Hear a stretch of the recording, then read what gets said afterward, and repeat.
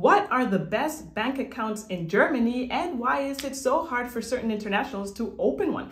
In this video, we will dive deep into the German bank market. Also, we would give an updated roundup of all the best banks so you can have all the information and make an informed decision for you. Hey, my name is Jen and I'm from Guatemala. And mine is Yvonne and I'm German. And together we're from simplegermany.com, where we create English content to empower internationals to settle into life in Germany more smoothly. But wait, didn't we already do a banking video? We sure did. However, the German bank market is so dynamic and it changes all the time that we decided that we needed an update for 2022 to give you actually the most up-to-date information. Make sure to stay until the end of the video where we will answer some of the questions that we got from the last video. Certain questions like, can I open a bank account from outside of Germany? May I have more than one German bank account? So make sure to stick around for that. So let's first talk about the big disclaimer.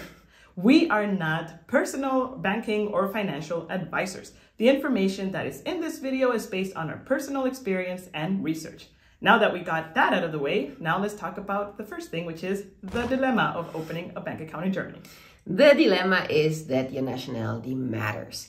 It matters often already when it comes to your visa. However, in this case, it matters in a different way because it's not really a first world versus emerging economies kind of world. It's more a world of the bank sets the rules and they're individual from other banks. So sometimes banks claim that the restriction for nationalities they accept relies on the partner that they use for online identity verification, like companies like ID Now, for example. However, several banks use ID Now, yet they all accept different nationalities. So we beg to question, is that the real reason? Yeah, other sources say that it has to do with some security reasons in terms of passports tend to be easier uh, duplicated or fraudulent, or how do you say that? Uh, they have less security features? The exactly, they have less security features than others. Certain countries tend to have more money, money laundering things than others. So at the end of the day, we don't know the real reason. It's a bit of an obscure reason. All we know is that each bank has a list of countries that they accept, and each of those countries have certain requirements that they need to meet. To know the list of countries, on our website we have a comparison table and on there there are links for each of the banks to the list of countries that they accept, nationalities, and what documents are required from each nationality. We cannot go into detail here because it's a because it varies variations. Exactly. Yes. So be sure before you try to open an account with any bank to really click on that link, check whether your nationality that you want to apply with, that you hold a password with, um, is part of that list because if it's not, don't even bother. It's just a waste of your time. Now let's clarify, which we didn't do in our previous video, why we don't talk about certain banks that you might see everywhere on the street once you're in Germany. And that is pretty much the typical, most traditional German bank like Sparkasse and Volksbank. Those are like the top two, I would say. Why we don't talk about them is first of all, they're utterly traditional. They're utterly German and from our example here, when we go to the local Sparkasse Düsseldorf, they have funky opening hours. Like they really are only available on like one on Wednesdays and half days on Fridays. And we actually did stand a line and did talk to someone to question how is it, how easy is it to open an account? Because also we read from you that sometimes you have to wait two weeks for an appointment. And that is true. If you are one of the nationalities that cannot verify themselves online, you do need to do that in person and you can't just walk in. You need an appointment for that. So it's just simply tedious. Second of all, they charge fees for just having an account, which some of you might, don't, might, might not mind paying that, but there are other options. And third of all, literally everything is in German and slow and via snail mail. I would uh, actually argue that Sparkasse does have their online banking and an app also in English. It's not all in German. However, the process to sign up and everything and the customer service usually is in German. And another thing is that this is actually, I didn't know this before, but as, as certain things like Sparkasse and Volksbank, they are kind of like regional banks. So we have a friend who has an account with Volksbank and then she moved there for a few years to Berlin and she wanted to do a transaction from Berlin and she went to Volksbank and they told her, no, no, you cannot do that here. You need to go to your branch in Düsseldorf. And they're like, and she's like, but I'm in Berlin. Doesn't matter. Your bank is in Düsseldorf and that's where you need to go. Long story short, she had to go through a bureaucratic process, send a letter, do all these things, jump through all these hoops just to be able to finish her transaction in Düsseldorf. Meaning that not all Sparkassen and Volksbanks are the same around Germany. They are very tied to your location. Yes, and it seems that they don't share one uh, system. No. And I would even argue that maybe the Sparkasse in Dusseldorf is different than the Sparkasse in Berlin. Of course, yes, because it's called Sparkasse Düsseldorf. And even for the Sparkasse in Cologne and Bonn, which are the neighboring cities, it's called Sparkasse Köln-Bonn. So even those are different. Yeah. yeah. So that's just for your information. I mean, please go with them if that's what you want. But for us, it's just not the most most appropriate choice um, for English speakers. Now, the very famous DKB. When you read the terms and conditions of DKB, it sounds amazing, really. Although I must say it's interesting because it's all in German. Yes. However, there's a high demand for this service for international people. But DKB is notoriously known for not accepting international people into their services. I have applied twice to DKB and I have been rejected twice from DKB. Just to clarify, DKB is a purely online bank, but it's very popular amongst Germans. I'm a very happy customer. Um, so it is a very good bank in my opinion, in my use case however not available to everyone. Another contender when you read about uh, best bank accounts in Germany is Revolut, or Revolut as probably because they're from the UK. So first of all, they are from the UK. It's not a German bank. So if we're talking about German banks, they don't make the list. however, second of all, I have had horrible experiences with Revolut. I had my bank account. I paid online for a service to the German post office. You cannot go more German than that in euro. But when I checked my bank statement, actually the transaction was in pounds with a transaction fee for paying in euros. It was horrible. And when I contacted the customer service, it took me around an hour fighting for me to get that feedback because I didn't understand why I needed to pay in pounds when my account was in euros and the payment was in euros. Long story short, after that horrible experience, I emptied my bank account and I have never used them again. So I would say we're a bit biased with Revolut just because of that experience that we had. I don't know if things have changed in 2022. I honestly don't want to try. and last but not least of banks that didn't make our list is the famous Comdirect, quite popular also amongst Germans. It is purely in German, even the banking app is only in German. And it has been bought, it's always been a subsidiary of Commerzbank. And Commerzbank we are going to talk about more in this video, who has more services in English. Okay, so now we are actually going to dive into, in our opinion, best bank accounts for English speakers in Germany at this point of recording. Things may change in the future. Um, and these comparisons are all based on the current account or checking account for your day-to-day -day life. So that is it. In German, it's called Girokonto. Number one is N26. If you have been here for some time, you might have heard of N26 before. It's because N26 has revolutionized, revolutionized the German banking market because I think it was the very first English-speaking online banking, super easy digitalized bank that existed in German. Yes. In Germany. When I arrived to Germany, N26 did not exist. And I actually found out about them five years after I had been living here from other colleagues and friends. And I was mind blown like, wait, there's a bank that's in English online. And the cool thing is that N26 now has their own banking license, means that they are, someone asked in a comment, are they approved by the German Committee of Finances? Yes, they are a proper bank. The cool thing is that they also offer a free checking account, which is called the standard plan. And of course, they also offer premium plans that you need to pay monthly for them for more benefits. However, we're focusing in this video for free options so you don't have to pay a monthly fee to the bank. So now jumping into our comparison table. English website app and support? Yes. No monthly fee? With a standard account, yes. Type of free payment card? So you do get a virtual debit MasterCard only, which is free, meaning you don't get an actual physical card. If you would like that, you can, uh, of course, order it and it's a one-time 10 euro fee. Okay. Credit card available? No. Investment options available? Not really, no. Loan options possible? Yes, you can apply to uh, loan options for up to 25,000 euros. Hmm. Apple and Google Pay? Yes. Free cash withdrawals per month? You have up to three cash withdrawals per month. And to clarify, these are cash withdrawals that you can do in any ATM that you can find through the app. The app has an ATM finder and they are, I mean, the options are vast of the ATMs that you can use to withdraw money with uh, the N26 account. Um, no foreign currency fee? That's correct, yes. What do you mean by that? That if you use your N26 MasterCard uh, abroad, outside of the Eurozone, mm -hmm. for example, in the US, in India, wherever, um, you don't pay a foreign currency exchange fee, mm. but the conversion is the direct conversion between the, the, the, the, foreign currency and the euro. That's pretty cool. Okay. Overdraft possible? Uh, it is, but I think you also need to apply for it. Okay. Cash deposit possible? Yes, it is. It is a little bit complicated. They have um, a whole guide online to uh, explain how to jump through those hoops, but it is generally possible. Okay. Partner account possible? No. You can only have one N26 N26 account. Yeah, and you cannot share it with your partner, for example. Correct. Support via? Email and chat. However, I will say the chat um, is only really working once you are a customer. Previously, it's more like a chat bot. Yes, I agree. You can reach actually a human, but you need to also jump through some hoops to actually reach someone directly.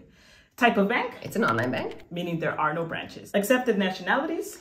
Uh, there is actually quite an extensive list of nationalities that N26 accepts. One of the reasons why it's also up here high in the in the comparison, and that is 142 nationalities. However, we must say that um, India and other third-party countries um, can only open account if you have a residence permit, like a, a, new one that is like a check card, like a like a like a credit card style, not a paper version uh, or a, a, long visa in your passport, it needs to be that check card residence permit that is valid a minimum of one more year. Wow. Do you need the Anmeldung? It depends on your nationality, and you, for that you need to check the list. And you need your residence permit. You also need to check the list on our guide because it depends on your nationality. It's kind of like if you need the residence permit, you also need the Anmeldung. If you don't need the residence permit, you can open an account without the Anmeldung. Now, for a recent experience with N26, uh, lately I have felt that the chat support has dropped a little bit in terms of quality of the chat, meaning when you ask a simple question, the agent tends to not understand and they have to check a lot and it takes quite a long time. And that is pretty much the kind of like negative point that I have at the moment with N26. Other than that, I still love the app. Sometimes it crashes. A lot of people complain about that, but it's not so bad because when I need it, it works and I don't have it open for hours on end, right? And I can do transactions easily. So I'm pretty happy generally with N26. Second on our list is Commerzbank. And Commerzbank is a very traditional German bank, yet one that actually tries very hard to be modern and updates a lot of things and has most of their services available in English. Why do I say most? Because the one thing that is actually quite important, the sign up, the online application to open account is in German. Figures. However, we have done a step-by-step -step detailed guide on our website as well as a video that we will link below um, or up here where we go through the entire application process for you in English. The one catch with Commerzbank is that for you to have a free account, you need to have a minimum of 700 euros coming into your bank account every month. That means it could either be your salary, that should be hopefully more than 700 euros net a month, or it can be smaller payments that come into your bank 700 euros a month. A lot of people also have asked, can I just transfer 700 euros and then transfer them back out? I we don't know the answer if it's going to be free. However, let's think about it a little bit. If I would be the bank, I would kind of like inspect those things and it would be very obvious what you're trying to do. So if you open a bank account with Commerzbank, it should be for you to use the bank account with Commerzbank, not just to have it there to move money around. Exactly. I pretty much want to see cash flow. And uh, you don't have to hold 700 euros in your account at all times um, because you're obviously using the account. You just need to have an income of seven, minimum 700 euros per month for it not to cost anything. Otherwise, it will cost 9 euro 90 per month. Another thing is that they have branch banks. Yes, in the past years, they have closed more branch banks in Germany. However, they still have 450 branch banks that you can actually go there and talk to someone.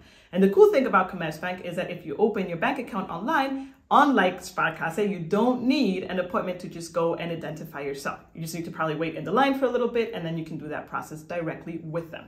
And you can also do your banking, for example, in Berlin if you signed up in Düsseldorf. That's also possible. Yes. now let's jump into a comparison table. So English website, app, and support. Partially, like we I said before, the sign up is uh, not in English. However, everything else, uh, like the customer service, online, on the phone, the banking app, is everything in English. Yes. No monthly fee. Yes, however, only as we just said, if you have a 700 euro income per month. Type of repayment card you get an EC0 card, which is the most used or most accepted card in Germany. And you also get a virtual debit card for online payments. Credit card available? Yes, for a fee. Investment options possible? Yes, it is a full-blown bank with a securities account, which is called in German Depot, so you have any service available. Loan options possible? Absolutely, yes. Apple and Google Pay? Yes. Free cash withdrawals per month? Unlimited free cash withdrawals at Cash Group ATMs. Cash Group is pretty much all Commerzbank, all Deutsche Bank, all Postbank. Um, so all of those ATMs you can withdraw unlimited for free. Oh, cool. No foreign currency fee? Here, unfortunately, no. Uh, Commerzbank does charge a 1.75% foreign exchange fee if you use the Giro card abroad, which I would not advise anyways because it's a German card. Yeah. Overdraft possible? Yes. Cash deposit possible? Yes, at any ATM or branch. Partner account possible? Yes, it is. However, you can only apply for a partner account, which is called Gemeinschaftskonto, in person in a branch. Mm-hmm. Support via? Phone, email, and in person. Mm-hmm. Type of bank? It is a branch bank. Accepted nationalities? As far as our research shows, it's really extensive, and believe us, we have asked several times in branches, online, uh, I mean, on the phone, the customer service. And as far as we know, they accept every nationality. However, you also, of course, need to check other metrics that they scan. For example, that you have enough income or that you are not just here on vacation, for example. And a good Schufa score, maybe. Maybe, yes. Do you need the residence permit? It depends on your nationality. If you're from within the EU or EEA, you don't because you can verify yourself online via the video ident method. However, if you're from outside the EU or EEA, then you cannot use that online service and you do need to verify yourself in person, ideally in a branch. And in that case, yes, you do need a residence permit. Do you need the Anmeldung? Yes, you do. Our recent experience with Commerzbank has been great. To be honest, I have never really had the need to contact them except for research purposes, which we do for these, these videos and our guides. And generally speaking, their customer service is friendly. I feel pretty confident with them. Yeah. Um, the last time I called, which was uh, two days ago, uh, called the customer service. Our method that we describe in our detailed guide still worked. I got an English speaking agent, super friendly, super helpful, didn't know everything from the bat, however, made the effort to ask, research, and come back to me.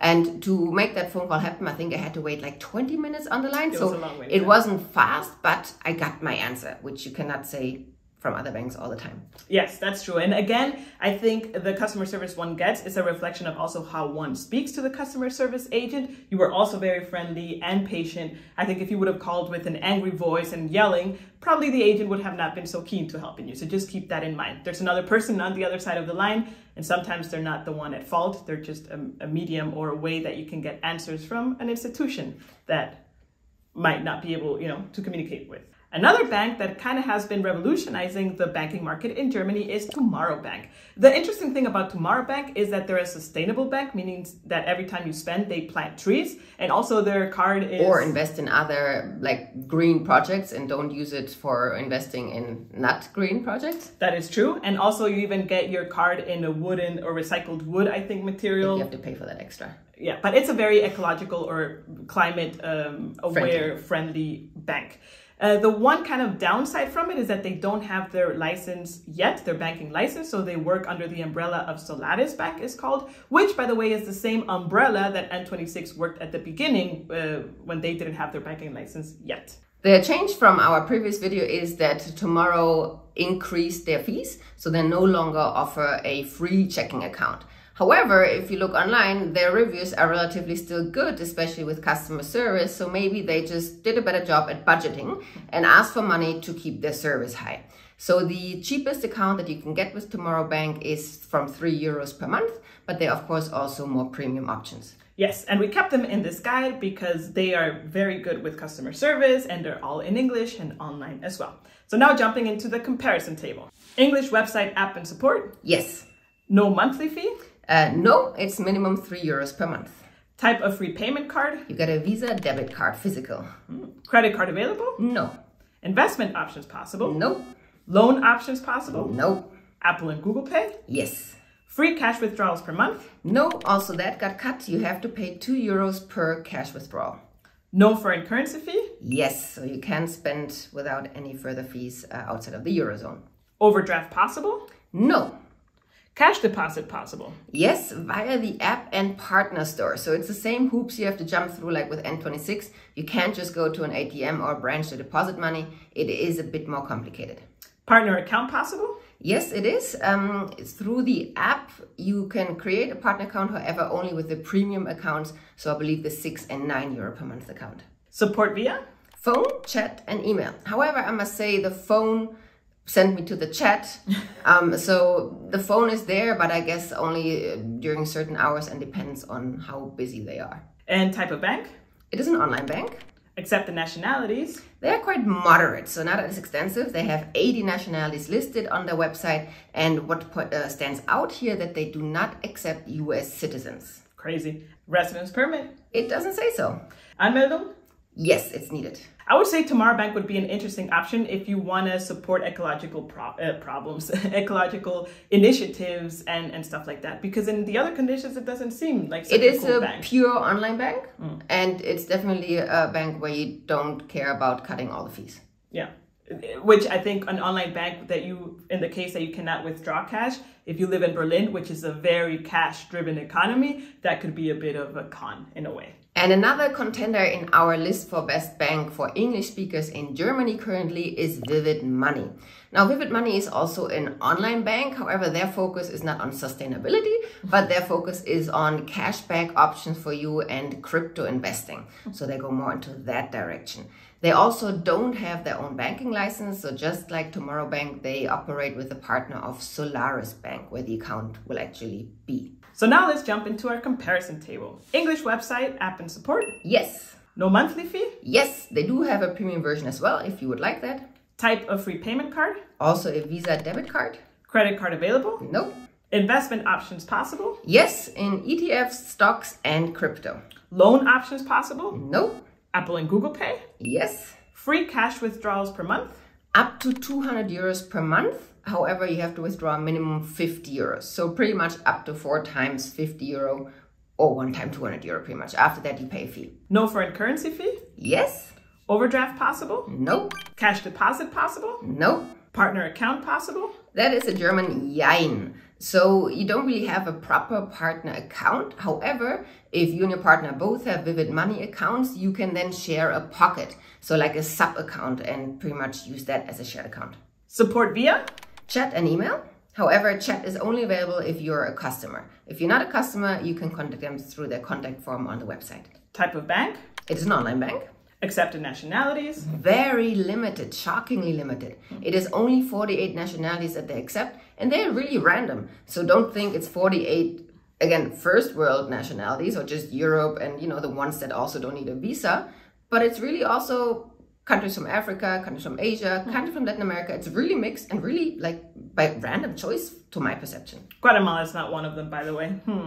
Residence permit? Doesn't seem like it because you can purely identify yourself online. There is no personal identification possible. Hmm.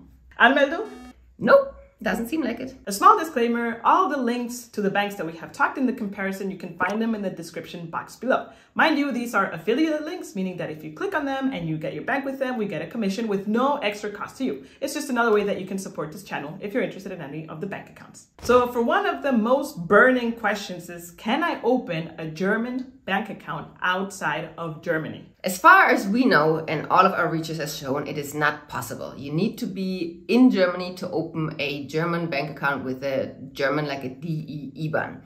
So usually when you move to Germany recently, you need to have a bank account quite fast. I mean, that is the one thing you need to get your salary paid if you already have an employer to do other um, get other services online uh, get your internet get your whatsoever you need so getting a bank account is urgent however it's not easy, as we just described, depending on where you're from. One more reason that before you move, you already make your appointment for your Anmeldung online, so you at least get that done as soon as possible. Because as we have learned, some bank accounts even require your Anmeldung. Now, what happens if you need your residence permit, like for example, for Commerzbank or N26, depending on where you're from? That can take sometimes a few weeks or months for you to get. So what do you do to bridge that gap? if you don't have a residence permit yet, but you really need an at least European bank account. So we know from experience and others uh, and comments and emails that we've gotten that Wise, which is a financial service provider, is a great alternative or has been kind of like the helping the helping service. Wise offers a free multi-currency account, meaning you get a euro account, a US dollar account, and a British pound account. And you can give that IBAN that you get to your employer. It is a Belgium IBAN, but ideally there is no, shouldn't be any IBAN discrimination because it's still a separate transaction within Europe and the Eurozone. I agree. Um, you can also use Wise to transfer money from your home country to the euro, to German, uh, to Germany, um, and save hefty banking fees that otherwise would be charged if you would use a traditional bank. So that is why Wise is generally a good option to to get acquainted with. Yes, another thing is that just because you get these three currencies that doesn't mean that those are the only three currencies that you can have in your bank account. You can add other currency as well to, multi-currency, which is crazy. And because it's a financial service, as we pointed out, but just to emphasize, is that they specify or they um, specialize in transactions between multi-currencies. So they tend to be very cheap. For example, I had to send money once to the US to a family member, and it was a lot cheaper than sending it from my German bank account or MoneyGram and or faster. any other. And Way super fast. It was like in yeah. two days, it was there or less. Less, yeah. It was super fast. Very happy with the service. So as an interim solution, Wise is a perfect choice. Now, once you get your residence permit and you have all your paperwork, then it's time to consider to upgrade to, let's say, a real account or a real German bank account with any of the ones that we talked about or or any you wish. Or any one that you want to, right? now, Yvonne, a question. May I have more than one German bank account? Absolutely, yes. And I would argue actually it's quite common. Like I have more, you have more. Yes. And I think the most amount of people have more just because it's good to you know don't put your chicken no your eggs in one basket that way around. And usually you know we use one account for our daily transactions like for our supermarkets and anything that we that we spend uh, also like at restaurants where we have an EC-card and then we use another account maybe more like for having a little cushion on the side for like uh, emergency uh, savings um, or where we have our securities account. So we usually split those two um, kind of like banking transactions. Yes, and also it's good when traveling that you have a bank account, for example, that doesn't charge extra fees when you use the count uh, the card abroad versus the one that you do. So it's good to have multiple accounts versus the one that you do versus the one that you do need to pay. Just mind you, don't start getting ten bank accounts. I'd say maybe maximum five. Well, even that is a lot. Even that is a lot before you raise flags with the Schufa. And what is the Schufa? The Schufa is the German uh, credit score association, let's put it that way. We've done an entire video on it to go more into detail. But um, if you have, I would say, I mean, I don't know. This is a purely personal opinion. More than three, it becomes a little, why does this person have so many bank accounts? Hmm. Not proven, just a gut feeling on that one. now, we have in our previous video also mentioned the possibility to withdraw cash while you are at a supermarket. Hmm. However, we didn't go into detail, which we want to correct this time, that this possibility only works with the German EC card, the Giro card, which in the comparison that we just gave you, actually only Commerzbank hands out. So with this card, when you, let's say you shop at Rewe or at Edeka or at Aldi um, or at DM, it doesn't matter. You are at the checkout and before you pay, you tell the cashier, I would also like to withdraw 200 euro. Then they add that to the check, uh, to the, to the like, um, account, account, thank account, to total account, exactly. And you pay with your card and they give you cash in hand. So that is for me a very convenient way um, to not always run around and find the ATM that I can use. However, it is limited to 200 euros per payout. And like we said, it only works with the EC card. The only um, supermarket that allows also that cash payout with MasterCard is Aldi Süd. Yes, and can you please say for vocabulary reasons, how do you ask for X amount of money to your clerk? Ich hätte gern noch 200 Euro. Ich hätte gern noch 200 Euro bar. There you go. So you can use that sentence. Obviously, you replace 200 with whatever amount you want, and then the cashier will understand and add that to the end of your account. Obviously, it's charged to your bank account, yes. right? It's not just free money. That would be awesome. now, what's the big deal about this German EC card or EC-Karte? The thing is that a lot of small shops and restaurants, and including also this cash out program, only accept EC card. For example, I like to call it EC card. EC-Karte. For example, my hairdresser, I can only pay with cash and card. But when you want to pay with card, it's like, but it's EC-Karte, right? So it tends to be a thing. If you, again, you're in Berlin, which is a very cash driven economy, then they don't even accept card. Sorry for you. So if you are with a mobile bank only who does not, or which does not provide an EC-Karte, be sure to always have cash at hand in Germany. Yes. When it comes to the banks that we talked about, there is no clear winner of best bank in Germany because it really depends on your habits, on your priorities, and more importantly, on your nationality. If you'd like to open an account with Commerzbank and want to watch the video that we did on how to actually do that with the English translation, then click on the video on the left to watch that next. Until next time, cheers!